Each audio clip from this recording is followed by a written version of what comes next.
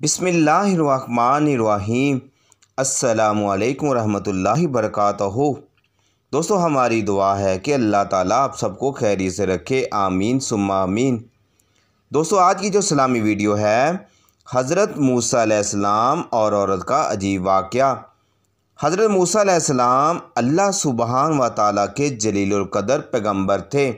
अल्लाह ताला ने आपको बड़ी शान और रुतबा फरमाया था। आपको अल्लाह से हम और हज़रत मूसम और औरत का जी वाक़ दजाइल है। कलाम होने का शरफ भी आपको हासिल था। एक दिन हज़रत मूसम कोहे तूर की तरफ़ जा रहे थे। आपको रस्ते में एक औरत मिली। वो ज़ार व कतार रो रही थी। आपने उसे रोने का सबब पूछा। वो कहने लगी कि मैं बे औलाद हूँ। मेरी कोई औलाद नहीं हुई। आप अल्लाह से पूछ कर बताएँ कि मेरी किस्मत में औलाद है भी कि नहीं। औरतें मुझे बाँझ होने का ताना देती हैं, चुनाचे हज़रत मूसा कोहे तूर पर जाते हैं और अल्लाह से उस औरत के बारे में पूछते हैं। अल्लाह पाक ने जवाब दिया कि इसकी किस्मत में कोई औलाद नहीं है। हज़रत मूसा और उस औरत के पास गए और बताया कि अल्लाह पाक ने कहा है कि तुम्हारे यहाँ कोई औलाद नहीं होगी।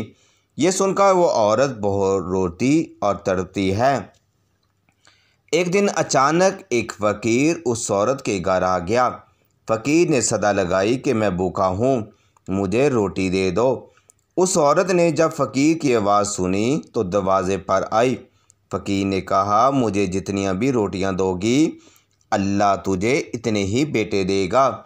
उस औरत ने फ़कीर को चार रोटियाँ पकाकर खिला दी। अल्लाह के फजल से उसके यहाँ चार बेटे पैदा हुए।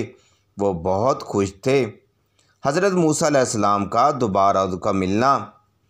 एक दिन आप उसी औरत के घर के पास से गुज़र रहे थे। उस औरत ने आपसे पूछा कि आप तो कह रहे थे कि मुझे कोई औलाद नहीं होगी। ये देखें, मेरे चार बेटे हैं।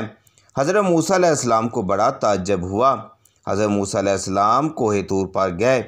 और अल्लाह रब्बुल इज़्ज़त से सवाल किया ए अल्लाह, तूने तो कहा था कि इस औरत के यहाँ कोई भी औलाद नहीं होगी, मगर इसके तो चार बेटे हैं। ये मामला आखिर क्या है? तब अल्लाह रब्बुल इज़्ज़त की तरफ़ से हज़रत मूसा के पास एक प्लेट और एक छुरी आ गई।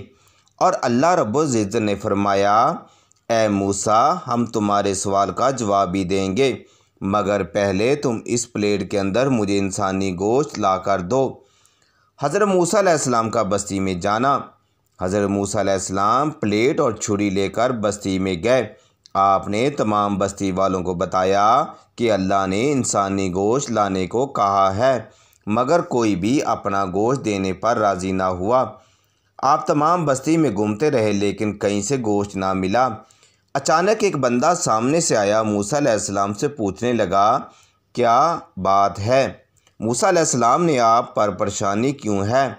मूसा अलैहिस्सलाम ने जवाब दिया कि अल्लाह ने एक प्लेट इंसानी गोश्त की मंगवाई है, मगर कोई भी देने को राज़ी नहीं।